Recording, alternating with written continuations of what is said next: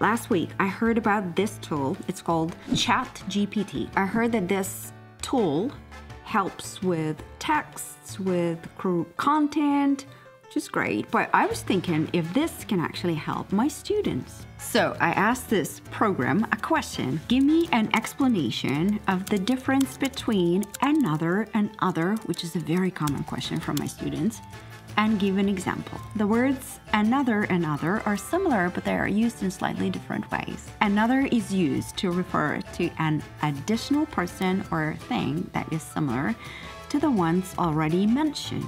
For example, you could say, I have another apple if you already have one. Not bad. Well, obviously, you need to know how to read. So I did upper elementary um, student you can read and now you find out the difference. So let me ask the same question for beginners. Well, it gives me exactly the same text with no difference. So next one, word order in an English sentence. It's okay. It gives you the explanation, it gives you the examples, but you need to know how to read. So I typed in another question. What is the difference between above and over?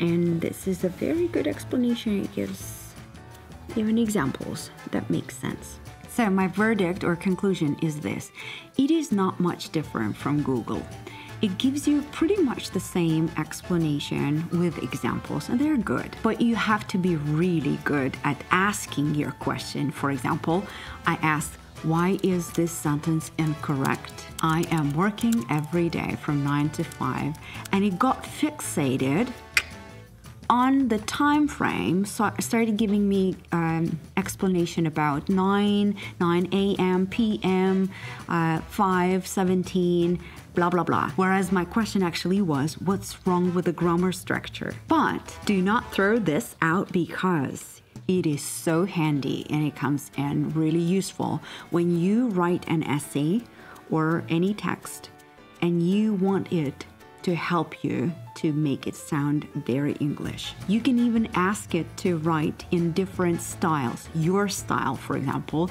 How would you write to my best friend or comedy style or business style. So that's where this baby does it as no one else. So for language learning, there is still some work to be done for it to be a really good or number one tool. But for things, as I mentioned, to improve your writing or to do your writing, help you with your writing, this is a competition with a capital C.